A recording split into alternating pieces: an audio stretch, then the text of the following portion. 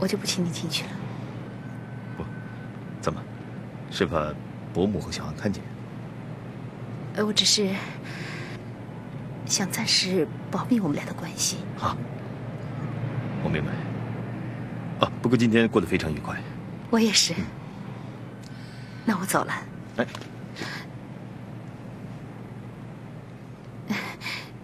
你千万不要给我打电话。嗯。啊，我是说我会给你打电话的。拜拜。啊，拜拜。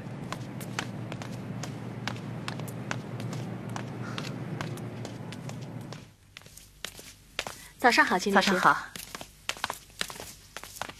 阿飞，哎，Good morning。哦，你今天好棒啊！是吗？哎，哎，嗯，你谈恋爱了？没有啊，没有恋爱啊。哪个男人这么幸运呢？我有权利保持沉默。哦，你看时间啊，现在是上班时间，你去给我把合同法拿来啊。我知道了，是孔令健，不就是那个儿科大夫吗？嗯。哎，小安，哎，外婆，你怎么回来了？老大接我回来的。嗯。哟，伯母。令健。啊，小安说你们家水管总是漏。我来修一修。哎呀，那怎么好麻烦你呢？嗨，伯母。哎呀，我们准备找人修的。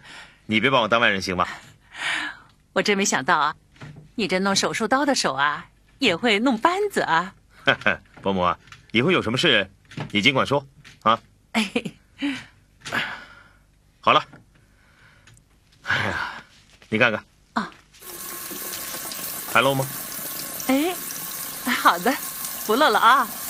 哎呀，家里要有个男人就好了，像这种事儿就不用管了，搬搬重东西啊就有人帮了。哎，我买了黄花鱼，今天晚上就在这吃饭。哎，哎，伯母，嗯，其实你你招个女婿不就完了吗？哎呀，不容易，现在好男人越来越少了。那你想给金迪找个什么样的好男人？嗯，可靠的，成熟的，嗯，还要比金迪大几岁。哎为什么要大几岁？安泰呀，哎，就是金迪那个前夫，要比阿迪小六个月，犯了六冲，结果呢，离婚了。你知道吗？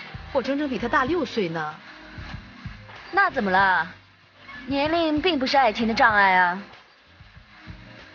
我不知道为什么，突然之间没有自信了。哼。担心自己在大笑的时候会不会有皱纹出来，害怕十年之后你已经人老珠黄了，而他却正当年。你甚至介意你们走在街上会有人指指点点议论，是不是啊？啊，你不能否认，女人比男人是衰老的快啊。女人衰老的快呢，是因为女人总是担心自己衰老啊。我也是个普通的女人吗。不是，你呢是一个陷入爱河的女人。啊，感情是危险的，也许我应该在陷进去之前早点抽身，免得将来勇敢点。啊，勇敢点，不要吝惜自己的付出，绝对不可以拒绝对方的给予。可是我曾经在爱情上被人背叛过一次啊。如果现在你的心时刻在。告诉你幸福的感觉，就不要背叛自己，背叛爱了。而且我还有个担心呢。是吗？我妈妈呀，这是我特意给你求来的，她能保佑你呀，吉祥平安。谢谢姨妈，我会贴身带着的。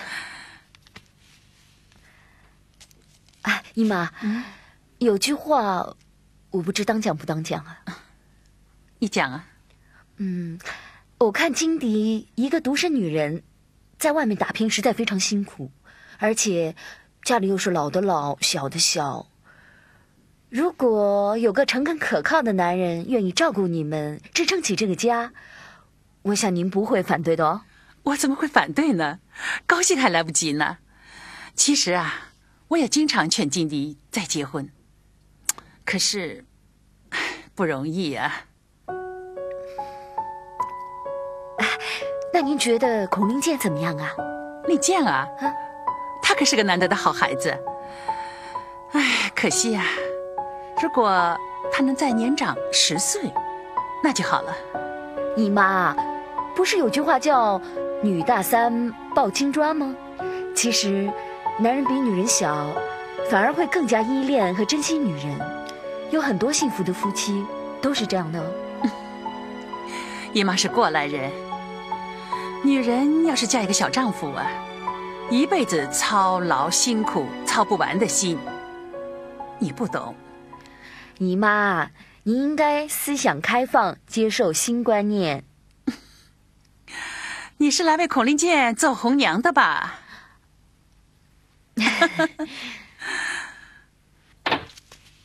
太太，请。嗯。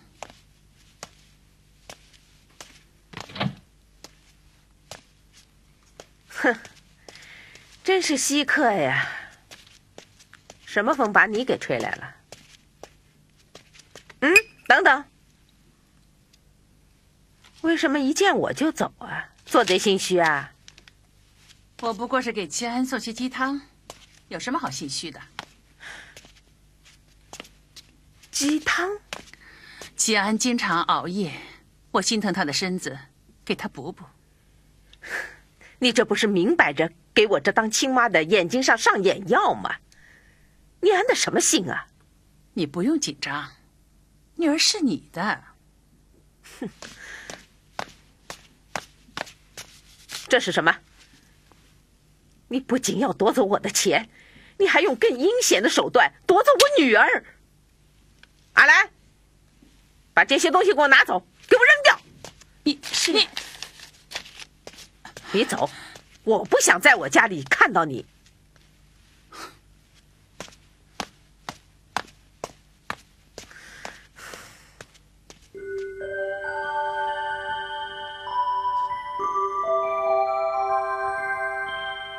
妈，嗯，妈，哎，我跟你说啊，水池的管子怎么不堵了？嗯，怎么了？没什么。我去看看小安。妈，我回来了。齐安呐，啊，妈给你熬了鸡汤哎，来，快来喝。妈咪，你今天怎么这么好的兴致啊？这两天呐，妈看你老是熬夜，太累了，要注意身体啊，趁热喝。味道怎么样？嗯，火候还欠一点点。以后呢，妈天天煲汤给你喝啊。嗯，妈咪，嗯，你不是要和我借钱吧？突然对我这么好，看你说的，妈对女儿好嘛，这不是天经地义的事吗？啊，真的？哎，你没听说过啊？母爱是最伟大的嘛。来，妈给你盛碗。妈，好了，你坐着，我自己去吧。啊，那你多喝点啊。嗯。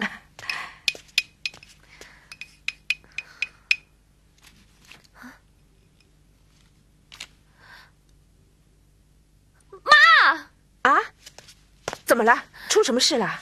西施姨妈来过，她怎么会来啊？这是姨妈送给我的护身符啊，怎么会扔到垃圾桶呢？我不知道，呃，也许是阿来，阿兰呐。啊，那么这些砂锅呢？我认得他家的砂锅，怎么也会扔在垃圾桶呢？好，你不说是吗？我去问姨妈。哎，齐安，齐安，你不要去啊。这两天我发现你跟他们走得太近了，我好担心啊！真的，我不能失去你啊！妈，你在说什么呀？你知道吗？他们要夺走属于我的一切，钱还有你呀！真的，妈不能失去你，妈妈已经失去的太多了。求求你，齐安，别离开妈妈，千万别离开妈妈啊！好了好了，我不去就是了啊！真的不离开了。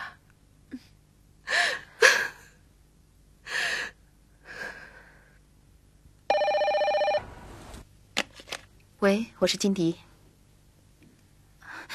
不是跟你说过了吗？不要给我打电话的。可以出来吗？我有很重要的事，想当面和你谈现在吗？对，一个小时以后在新洞访吧。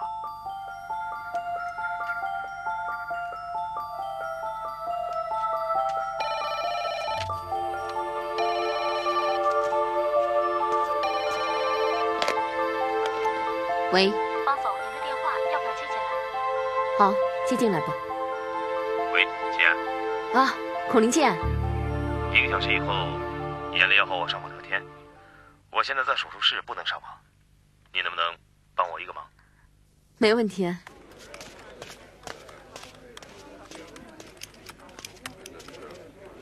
你在哪儿啊？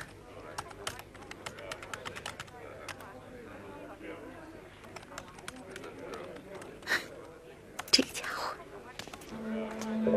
金迪，令箭，你在网上聊天？眼泪，你怎么不回答我？我是手绢。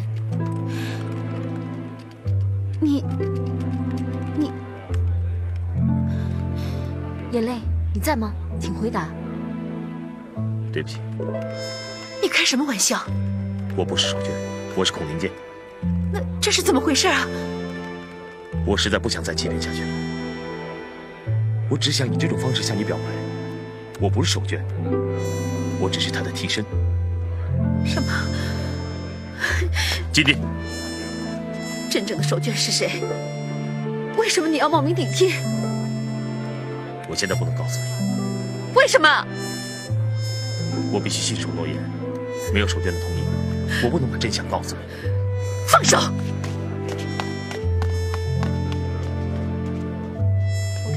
茶好吗？不用了。金迪，一个人呢？上来啊！阿兰，没你事了，你去做事吧。啊。出什么事了？来，先坐下。他不是那个人。谁啊？孔令坚，他不是手绢，他是个冒名顶替的骗子。你说什么？孔令健怎么会不是手绢？没错的，他亲口告诉我的。什么？因为我和他见面的时候，真正的手绢还在网上和我聊天呢。真的吗？他骗了我，他和手绢他们两个人联手欺骗我。金迪啊，你冷静一点，也许事情没有你想象的那么糟啊。我这个人怎么这么傻？其实我早就给看出破绽了，他根本不是那个手绢，我已经看到很多蛛丝马迹了。那么，他有没有说谁是真正的手绢？他说他要征得对方的同意才能告诉我。齐安，你能不能告诉我？他为什么要这么做？他为什么要戏弄我？为什么他要利用我的真情窥探我的内心世界？你知道吗？这种事情我最不能容忍。他欺骗了我的感情，你知道吗？他，他一定有难言之隐才会这样做的。那不行，我一定要找出孔令坚背后的真正的手绢，当面质问他为什么要这么做。金迪啊，你听我说，你不要这么冲动。来，你先坐一下，我现在呢，呃，我现在给你出去倒杯水啊，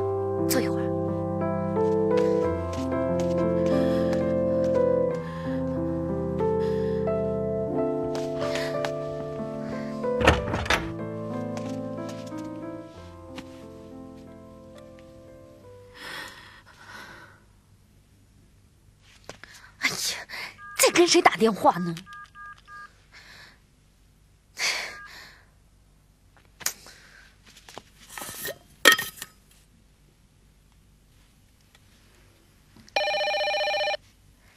你好，我是方奇安，我现在不能接听电话请留言。齐安，我是孔令剑，我已经告诉金迪了，我不可以再欺骗他。如果你愿意，希望你亲口告诉他，你才是真正的手绢。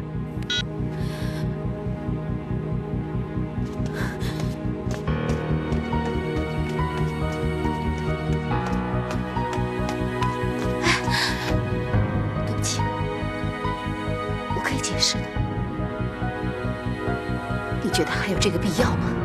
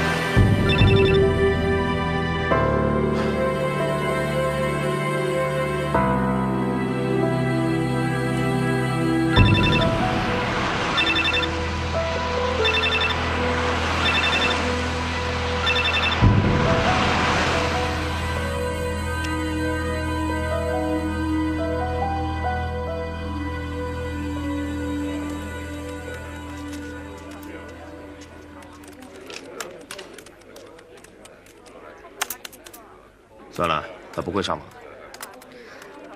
可现在这是唯一能联络到他的方式啊！他根本不想见我们。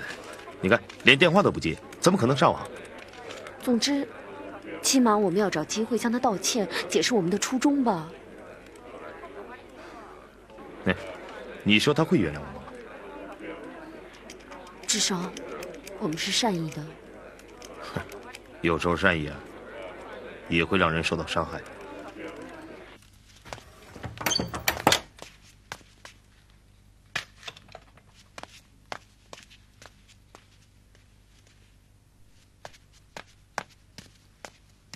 啊阿飞，你好，我们已经下班了，有什么事情，请你明天再打电话预约。我想见金迪。我在电话里跟你说过了，金律师到南京去办案了。我知道他就在事务所，请你让我见他。我有很重要的事，必须当面和我表姐说。她不在这儿。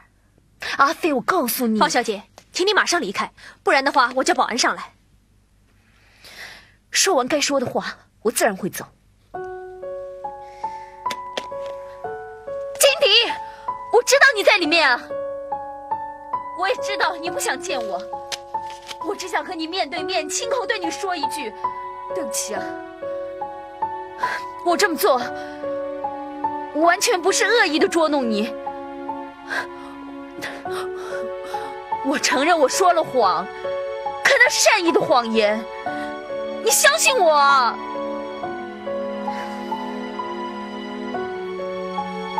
方小姐。你讲完了没有？请你离开。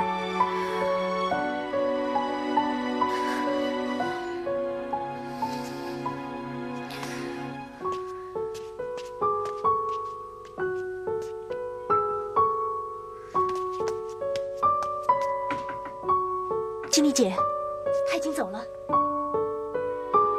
你没事吧？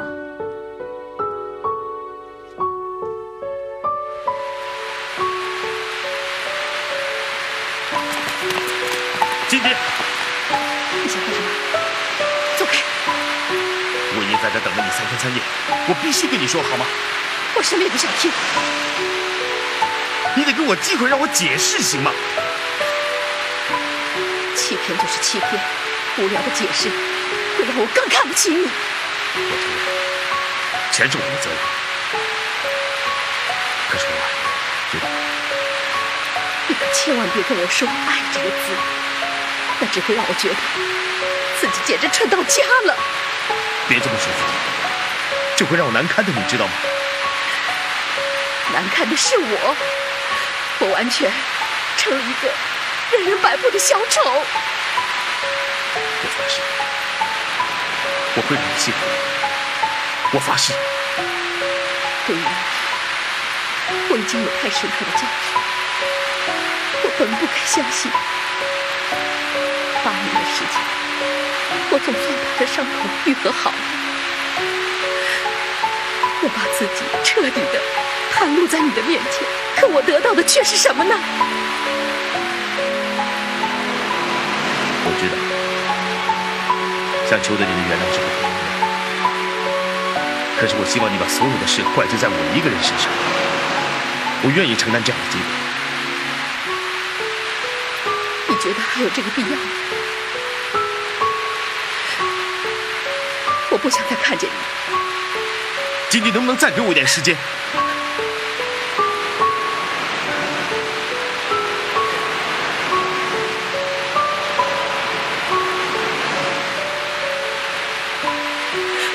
回医院的单身宿舍，放心吧，我不会再打扰你。方琦安完全是出于善良的本意，我希望你只怪罪我一个人，不要毁了你跟她刚刚建立的姐妹情感，好不？好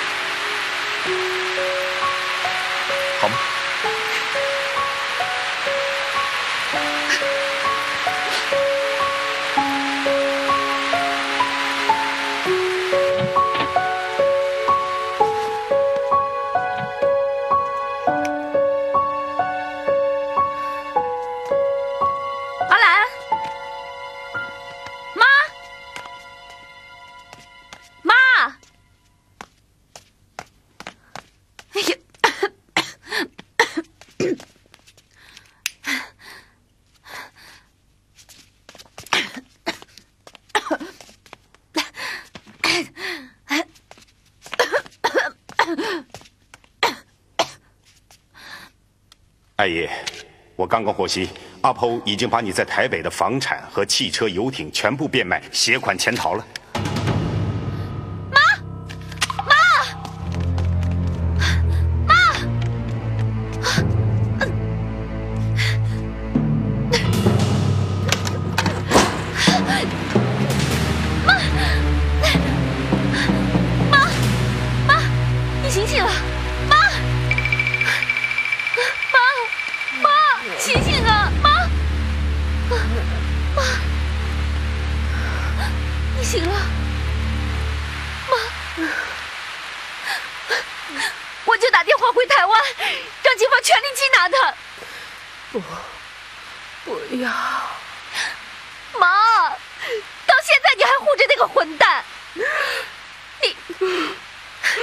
是全世界最没脑子、最愚蠢的女人了。我提醒过你多少次，小心被他耍了，可你就是不听。现在他卷了你的钱跑了，你不让警察抓他，还只会没用的开瓦斯自杀。妈，我真被你气死了。你骂我吧，你嘲笑我，妈现在已经被人家骗得倾家荡产，身败名裂，让你和大家都笑够吗？你为什么不让妈去死？妈，你不要再做这种傻事了好吗？你真吓死我了。妈，已经什么都没有了，妈什么都没有了，真是一无所有。妈，妈，你还有我，我是你的女儿。姐啊，妈，我只有你一个女儿了，妈妈已经是债台高筑，没有退路了。只有拿到外公留给我们的遗产，姐，只有你能够救妈妈。啊，救我！你一定要救妈妈呀！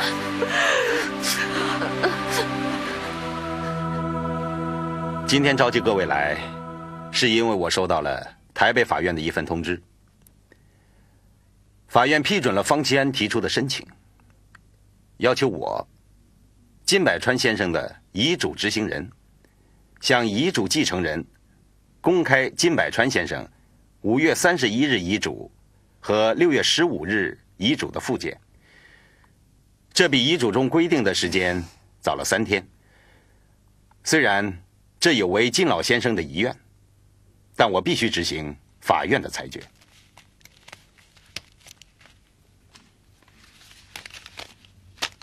下面，我就宣读金百川先生五月三十一日的遗嘱。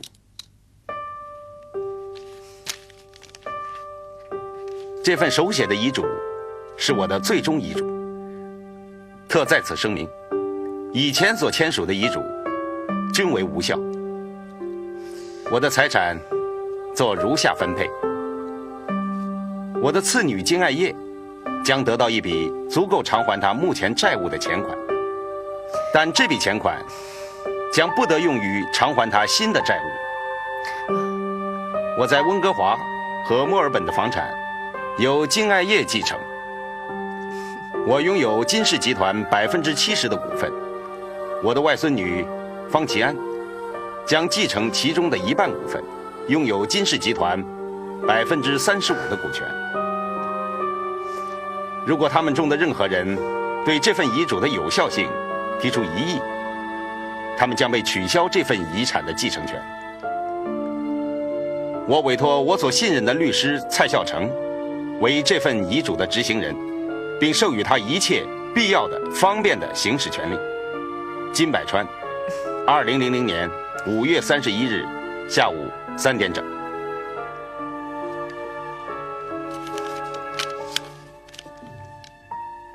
下面，我宣读金百川先生六月十五日遗嘱的附件。我，金百川，神志健全，记忆正常，特在此将我的剩余财产做如下分配：我的长女金希之将得到我在祖国内地投资的全部房产，其价值。与金爱业继承的遗产相当。我的外孙女金迪将得到我所掌控的金氏集团股份的剩余一半，即另外的百分之三十五的股份。齐安和金迪平等拥有金氏集团各百分之三十五的股份，他们将不得抛售或转让这些股份。希望你们姐妹两人同心协力，共建金氏集团的辉煌。金百川，二零零零年六月十五日上午十点。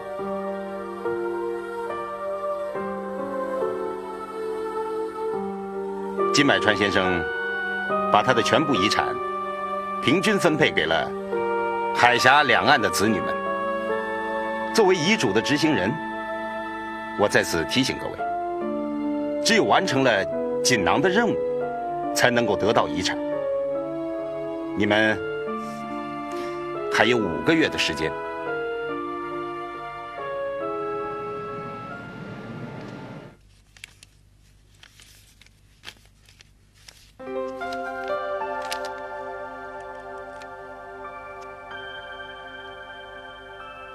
寻找你妹妹方琪安心中最大的一个愿望，并实现它。齐安，你最大的愿望是什么？可不可以告诉我你最大的愿望？我愿意帮你实现它。为什么？因为我们是一家人嘛。如果我说我最大的愿望是得到外公全部的爱和全部的遗产，你怎么想？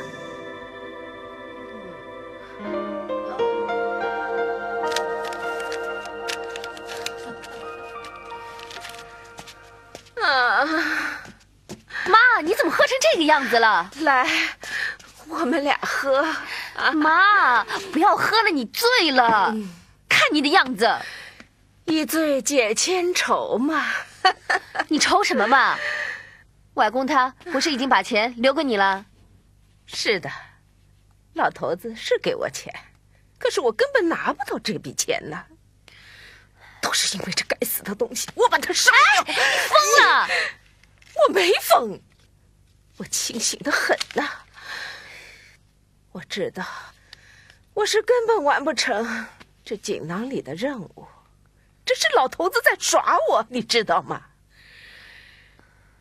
这个遗嘱呢，就像个彩色的大气球，这锦囊呢，就是一根针，噗，就把这个大气球扎爆了。什么都没有了，妈，你说什么呢？我根本听不懂啊！你自己看吧。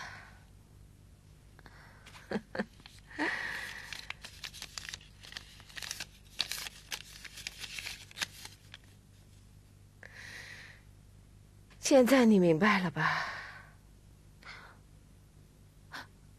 为什么？外公他为什么要你放弃遗产给姨妈呢？哼，他是为了还他自己的良心债。你不是一直很想知道我和你姨妈之间究竟发生什么事吗？事到如今，我不得不告诉你，这一切都是为了你爸爸。你爸爸崇德是你外公的养子，我们俩从小非常相爱，两小无猜。在我十八岁的时候，你爸爸向我求婚，我高兴的把这件事告诉了西芝。可我怎么也没想到，其实西芝，他也在暗恋着崇德。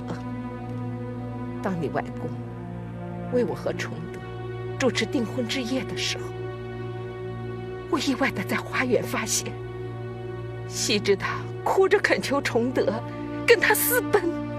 并且欺骗说，说我根本不爱崇德，但崇德没有相信他，并且拒绝了他。当你外公知道了这件事情，非常生气，狠狠的责备了西芝。也就因为这件事，西芝一直对我和外公怀恨在心。他竟然留下一封与你外公断绝父女关系的书信，离家出走。我们找啊找啊整整找了四十年，我们也没找到他。我们都以为他不在人世了。可是外公，不是委托蔡律师找到他了吗？那是你外公对自己过去的行为感到歉疚，他想用钱来弥补他。那他为什么还要强迫我放弃我的那部分，让给西芝呢？难道就因为我跟你爸爸结了婚？我没有把心爱的男人还给姐姐吗？他就要用这种方法来弥补他吗？我究竟做错了什么？他为什么要这样惩罚我？妈，爱情是不能勉强的。你没有做错。四十年来，在你外公面前，尽忠尽孝的是我，大逆不道的是他。为什么要要把金家的财产让给一个良心泯灭的人呢？太不公平了！这太不公平了，西安，你一定要为妈讨回这个公道啊！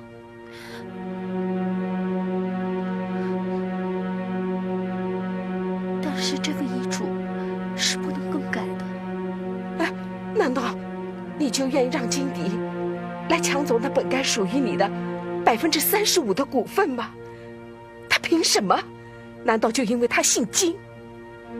齐安呐，为了我们金氏集团的利益，你也应该把这百分之七十的股权全部掌握在自己的手里，绝不能让仇人来毁掉我们金家的产业呢！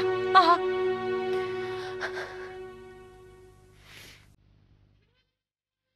慢用。蔡律师，我敬你一杯。啊，这杯酒喝下去，你就该说出今天请我吃饭的真正意图了吧？还是骗不了您，干杯！干杯！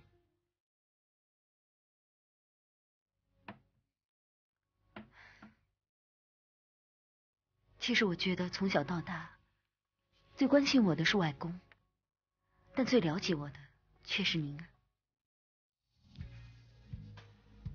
我五岁的时候，爸爸就突然出意外去世了，妈妈把我丢给保姆，整夜出去打牌。是你每天来看我，陪我玩，给我讲故事，带我去游乐场。这是我应该做的，因为你爸爸是我最好的朋友。从小学到中学到大学，所有的毕业典礼都是你来出席的。我妈妈老是因为各种原因忘了。艾叶是粗心一点，但是他是真爱你的。细之姨妈也爱过我爸爸的，是吗？你应该知道的。谁告诉你我妈妈告诉我的。她们姐妹爱上了同一个男人，但姐姐却输给了妹妹。四十年来，姐姐因此一直对父亲和妹妹心存怨恨，耿耿于怀。这事我不能肯定，这是不是真正的事实？为什么这么说？因为他是胜利者。从律师的角度说，也许双方当事人都很有可能把不利于自己的一面隐瞒起来，甚至于歪曲事实。谁是谁非，只有证据才是判断的依据。证据，齐安，如果你认真的完成锦囊里的任务，就会知道事实的真相。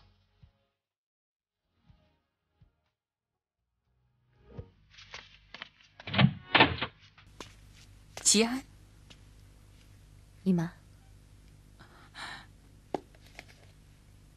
进来。齐安，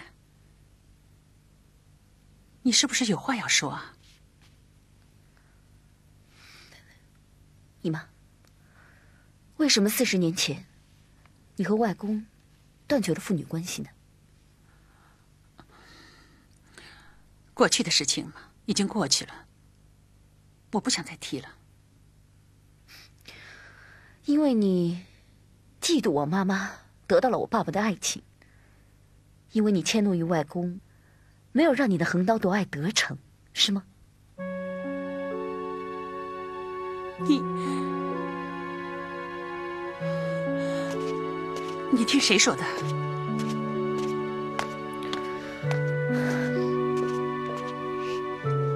看来我妈妈没有骗我。事实果真如此。事实，你永远不必知道。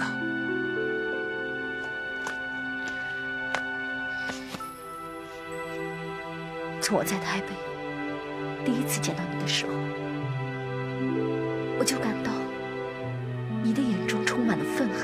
暴力。现在我终于明白。外公和我妈妈并没有做任何对不起你的事情，完全是你的狭隘和嫉妒造成了金家的悲剧。你怎么能这么说呢？姨妈，你不觉得这么多年来，你背弃亲人和做儿女的赡养责任，现在却要伸手拿走外公的钱，这么做？对我妈妈很不公平公平，自在人心。我一定会为我妈妈讨回一个公道。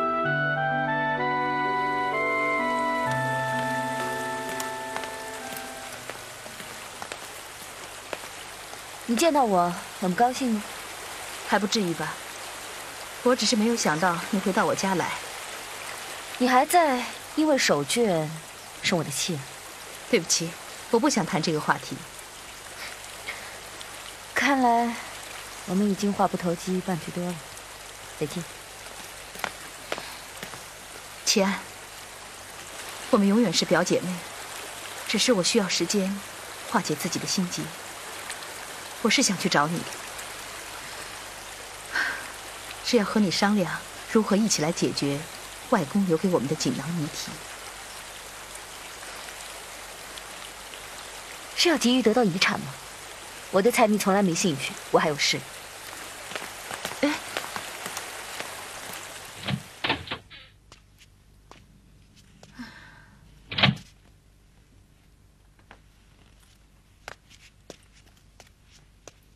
妈，你怎么了？哦。没事，怎么无缘无故哭起来了呢？啊？想起了你外公。啊。是不是？方前来过了。那他跟你说了些什么？没有。妈，